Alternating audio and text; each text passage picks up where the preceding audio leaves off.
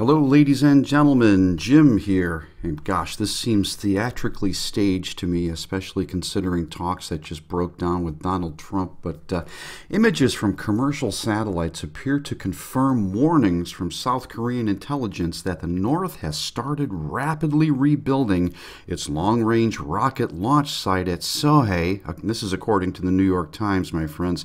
Now, construction work at the facility, which was partially dismantled last summer as part of a good faith gesture by the uh, Kim Jong un regime, began before the Hanoi summit, and analysts said it would have started as early as mid February. Okay, so this was last month. Now, the facility is located in Tongchang-ri, which is a remote area near the northwestern border with China. You can see one overview there. There is another larger one that you can check out. Now, Kim said he would seek a new way. You may remember that if some of the sanctions facing the country's economy weren't removed, and warned that a nuclear button is always on his desk. Huh, how about that?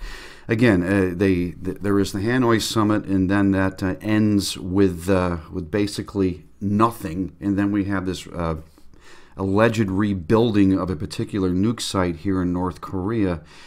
It's almost like we just need to have this thing going, just to distract us. Well, will he ever use these nukes? Will these nukes ever be able to be fired upon the uh, United States of America? I don't know what to think of this, my friends. I thought I would share it with you. Just another thing we can pay attention to before we are led to paying attention to something else. I will leave you a link to this. Please subscribe to my channel. Give this video a thumbs up and a share. Hit the red bell icon to be notified of uh, new video content. And please check out the link below to my latest fiction book release, Home a Wayfarer story available in Kindle and paperback.